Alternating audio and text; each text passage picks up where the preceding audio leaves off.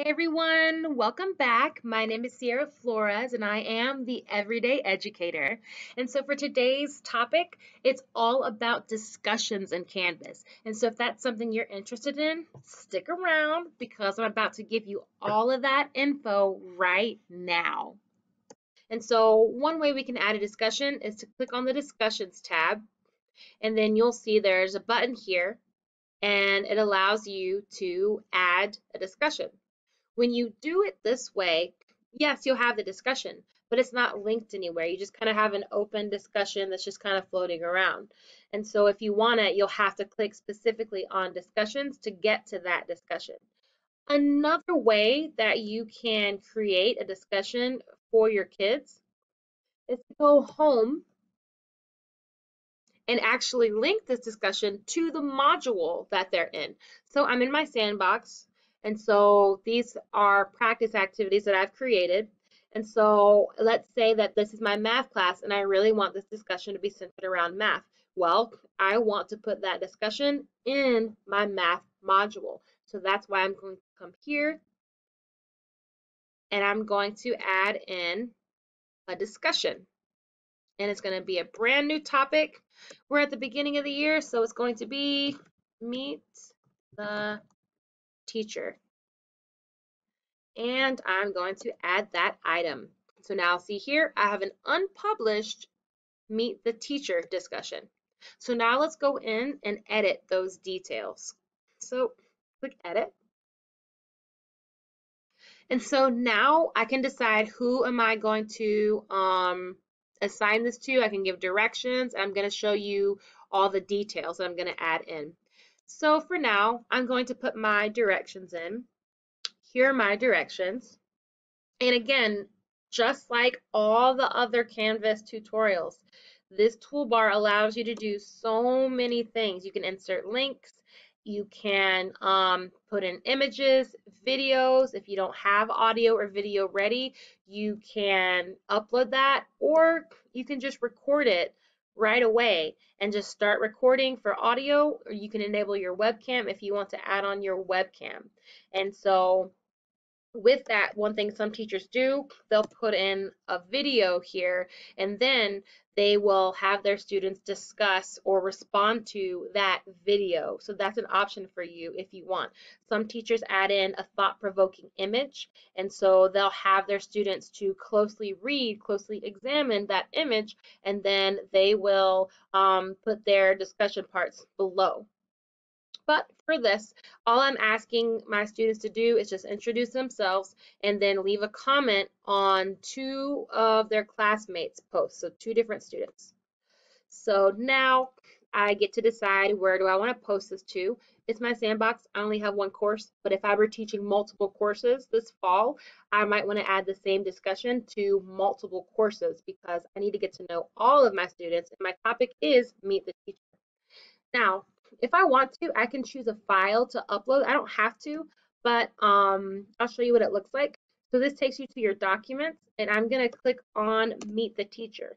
And so that Meet the Teacher document is here, and my students will be able to click on that and see what it looks like. And so moving down, you'll see the options. If you want to allow threaded replies, what this means is that if you don't have, if you don't change a thing, it's just one student replies, and then one student replies to the prompt. This is like the mother prompt, and then it's a bunch of individual isolated responses to that mother prompt, okay? But if you allow threaded replies, then this means that students can reply to each other. And so in addition to having responses to the mother prompt, you're also going to have responses that are going to be to each other in the class. And so it's huge discussion board. And so that I like to use that option because it allows my students to really get to talk to each other and share.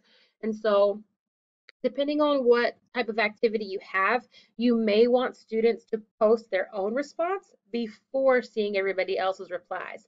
And so this is really helpful for if you're going over um, content. And so um, you want to make sure that your students actually did the lesson, they put in the work before they are responding.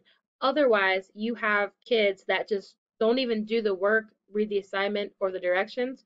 They go straight to the comments and they read what everybody else said. And then their comment is, um, it's a mixture of what everybody else said. And before you know it, without having done any work at all, they get a great grade because they know how to play the system. So if you're watching this as a student, ignore what I just said. Don't try to cheat the system. Your teachers care about you. Just follow directions. Thank you. So one thing you can do as well, you can enable a podcast feed. And so if you do want your first graders listening to a podcast, cool, enable that, let them listen. Um, you can grade this, you can allow liking, and students can add um, different, you can add tasks for your students to do. Now, another feature is to cause it to be a group discussion. And so if you make this a group discussion, then you are going to have to figure out what group you want that to be. So you can split them into, for example, colors. And so orange group, kids can sign up for that group themselves, or you are able to um, put them into groups based on, for example, you know what their reading levels is, reading levels are. They might not know that. But this is an example.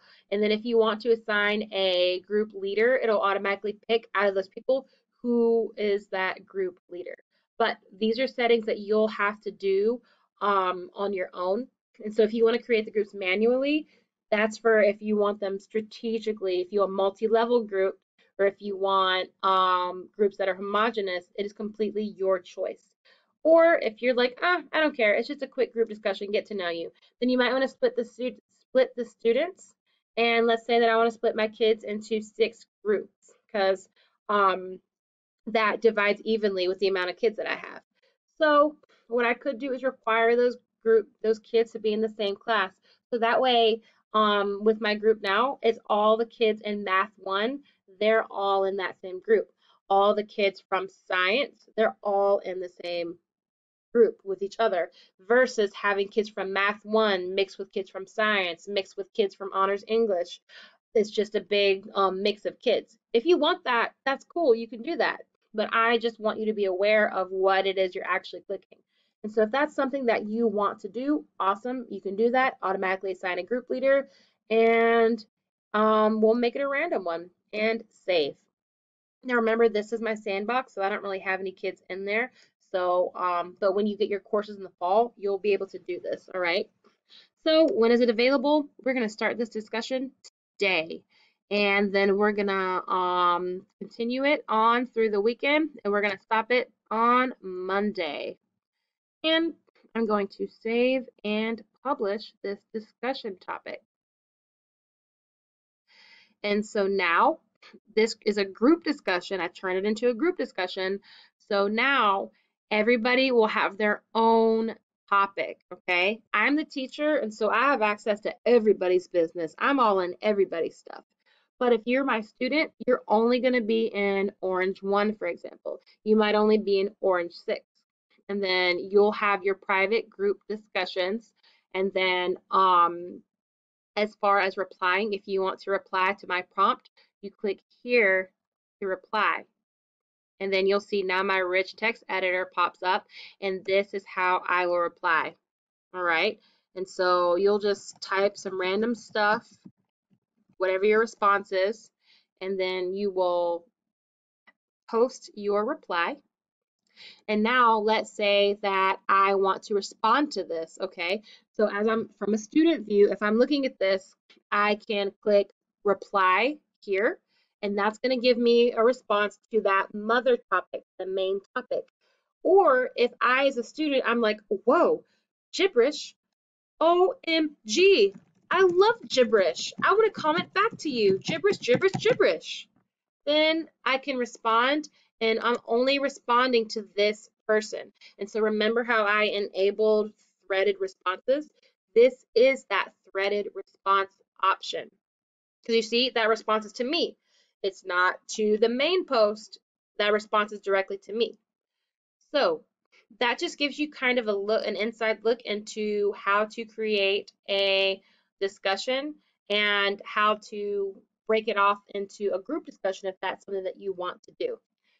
If this video helped you in any way, please click like on it, share it with your fellow teaching buddies, but then also subscribe, subscribe, subscribe so that you get access to all of my video tutorials.